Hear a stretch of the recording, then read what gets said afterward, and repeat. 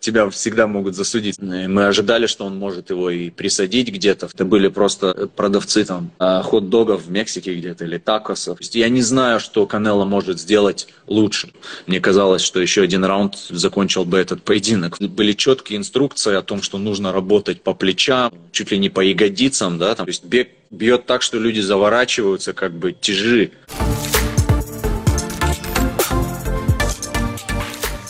Алик Фролов. А, у вас в компании порядка 20 боксеров. Икраил Мадримов, Хасанбой Дусматов, Раджа Бутаев, Фураджон Ахмедалиев, Баходыр Фролов. Когда-то с вами работал еще Руслан Проводников. Есть еще немало топов, проспектов. Я назвал более именитых. Говорим о бое Дмитрий Бивол и Канело. Стал ли ты такой побед доминантом ну, в первую очередь, э, как бы, конечно, мы прекрасно понимали, куда мы идем, что это за бой, и сомнений никаких у нас в победе э, не было Дмитрия. Было, были единственные сомнения в судействе, это, которые, в принципе, они подтвердились, эти сомнения. То есть нас пытались все равно, Диму пытались убрать как бы в этом бою, потому что всем очевидно, что ну, в лучшем случае как бы 2-2 счет первых четырех раундов, как бы, а не 4-0 в пользу Канел. Но тем не менее, как бы, слава богу, а, правильный человек победил в этом бою. В плане доминантности, ну, честно говоря, как бы было ощущение, что Дима мог выиграть и еще лучше. И, в принципе, мы ожидали, что он может его и присадить где-то в том плане, что когда он просядет, что Дима сможет его ударить. И Канело, в свою очередь, оказался чуть-чуть лучше, чем, чем мы ожидали в плане защиты. Он прямо оказался очень-очень скользким. То есть э, мы понимали, что он скользкий, о том, что по нему сложно ударить одним ударом. Как бои с Геннадием показали, что его нужно как бы растаскать сначала для того, чтобы потом как бы по нему ударить он оказался как бы в плане защитных действий, он оказался лучше. Э, то, что бой прошел так, ну, мы даже ожидали чуть-чуть лучшего, э, ну, как не лучшего, выступление было отличное, но в плане того, что Дима мог бы его даже где-то как бы стукнуть. Если реванш состоится, кто выиграет? Я предвзятый человек, то есть я э, конечно же, скажу, что Дима выиграет. У меня нет сомнений в этом плане. То есть я не знаю, что Канело может сделать лучше. То есть никогда не исключается вариант там какого-нибудь лаки панча. Это всегда присутствует. И э, Канело боксер высочайшего уровня, как бы э, в его случае любой удар не будет считаться лаки панчем, он будет считаться я, э, четко спланированным и так далее. Но я не знаю, что он может сделать э, лучше. Я знаю, что Дима 100% будет лучше в реванше. Я знаю, что он будет знать, с чем он сталкивается в плане э, защиты, где мы можем там какие-то моменты прибавить, потому что все, что они делали, ну, то есть Дима был к этому готов на 100%. Все наши спарринг-партнеры, у них был, были четкие инструкции о том, что нужно работать по плечам, о том, что нужно работать по чуть ли не по ягодицам, да, там, когда, если в любую секунду, когда Дима застаивается на канатах или еще где-то, бить по бедрам, там, сушить э, плечи и так далее. То есть э, все вот эти моменты, ну, мы, мы все это прекрасно понимали, что нужно делать. И Дима это выполнял всю подготовку. Все подхваты, все контратаки, всю работу от защиты. Он это выполнял каждый день в спаррингах с топовыми ребятами, и с Адамсом, и с Мадримовым, и с э, Нико у нас был там э, грузин с, э, с Майами, очень, очень классно работал тоже. Все это было как бы предугадано, скажем так. То, что он в реванше в чем-то прибавит, ну, в чем-то прибавит, как бы, но технически он не поменяется, как бы он не станет снова комбинационным боксером, как он был там в весе 154, там, когда он был молодой и быстрый, да. Потому что все говорят о том, что он там на полгода старше Димы, да, ну, то есть, что он еще молодой, что он в пике и так далее. Но на самом деле у человека уже 70 боев было в профессионалах. То есть, как бы он тоже уже такой немножко не молодой в плане, ну, то есть ветеран, можно сказать, в плане профессиональных боев. Что он сильно в функционале прибавит, я не думаю. все видели в бою с Геннадием. Мне казалось, что еще один раунд закончил бы этот поединок в пользу Геннадия Головкина. То есть он был очень-очень уставший. То есть в плане, что он может сделать, он будет лучше, но я думаю, что Дима будет еще лучше.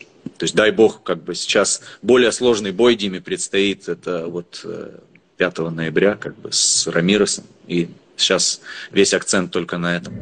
Давай поговорим как раз об этом бое. Чем опасен Рамирос?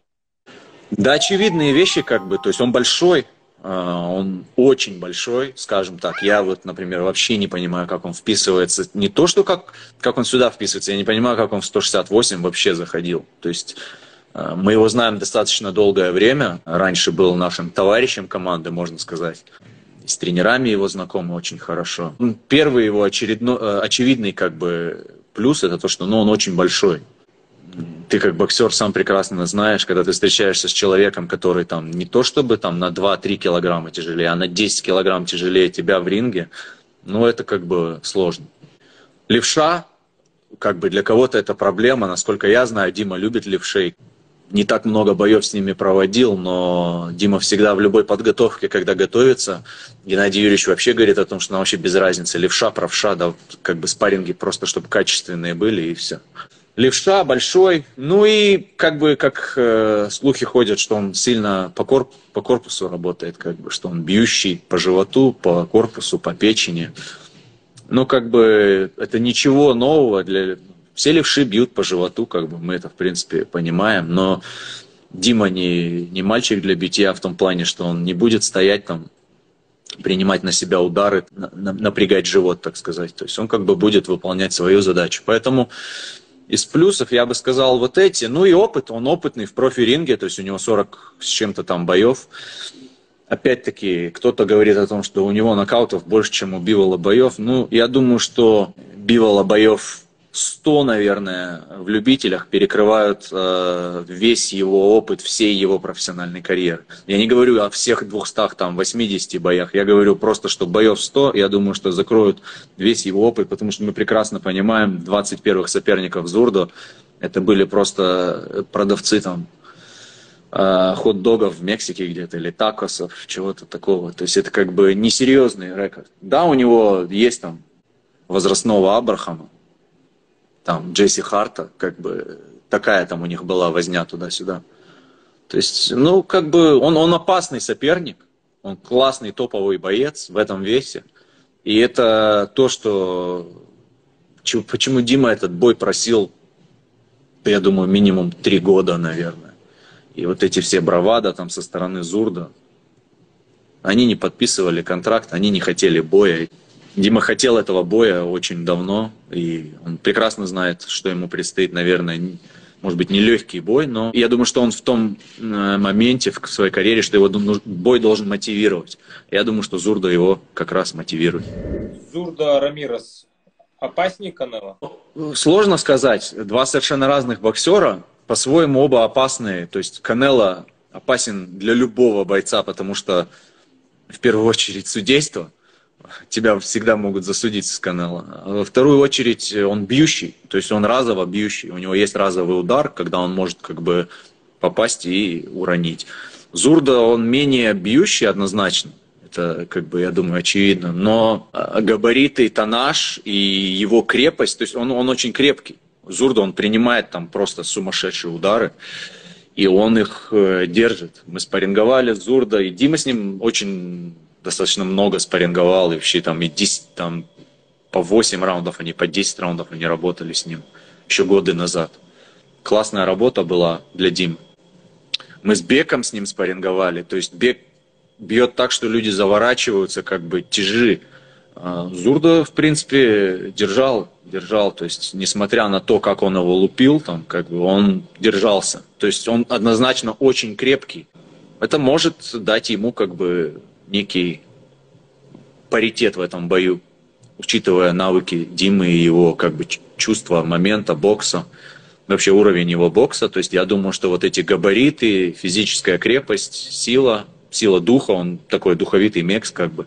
Я думаю, что это именно то, что делает этот бой интригующим. В плане опасности, опаснее ли, чем Канело, ну, это разные, разные бойцы, как бы, Я бы сказал, что Зурда, Канела и Паскаль, Паскаль самый опасный, потому что он бьет из-под жопы так, что как бы никто не видит, и он после боя с Димой это еще многим доказал, когда говорили, что он там сбитый летчик и так далее. Ну, там, правда, его история там с допингами тоже как бы была. Но, то есть вот он опасный. Вот такие боксеры как бы очень опасные. Зурдо, он топовый боец, как бы, поэтому это наверняка всегда интересно. Вот что ты скажешь насчет э, Бинавидеса? Дэвида, правильно, который вот молодой. Классный боец, мы очень хорошо с ним знакомы, и товарищи, можно сказать, с его командой, в принципе. И Дима с ним очень хорошо общается тоже. У нас было пару подготовок, мы спарринговали вместе тоже, и Дима с ним работал. И под Джо Смита, по-моему, и несколько боев было, как бы. Он растет, в принципе, он молодой парень, ему сейчас, по-моему, 24 года, если я не ошибаюсь, или 25 зрелищный, его любят здесь, э, в принципе, мексы. То есть он не, абсолютно не имеет никакой такой поддержки, как складывается впечатление у многих, что он там звезда или что-то такое. То есть в Америке такого абсолютно нет. Они приходят, 20 человек с флагами там раскачивают сами за себя семьей, но как бы такого нет, э, что он там суперзвезда. Но я думаю, что если он будет продолжать так же боксировать, он вырастет как бы станет серьезным парнем. Но опять-таки, если он да будет вот эти имена, которых он все время хочет, кого он вызывает. А так, в плане как человек, он очень неплохой, э, добрый парень такой, как бы мы всегда общались неплохо с ним. В плане бокса он, опять-таки, он очень крепкий, то есть он держит удар, он э, очень выносливый, очень быстрый, комбинационный. Э, недооценивают многие его защиту, он очень классно защищается вот этими вот легкими такими как бы перекрытиями. То есть он такой чуть-чуть напоминает где-то в каких-то моментах, как э, пирог защищался. То есть такая вот у него есть схожесть, он меняется в правша, левша, как бы перекрывается. Хороший парень. Ну, как бы чуть-чуть трэш-токер, но как бы не без этого сегодня.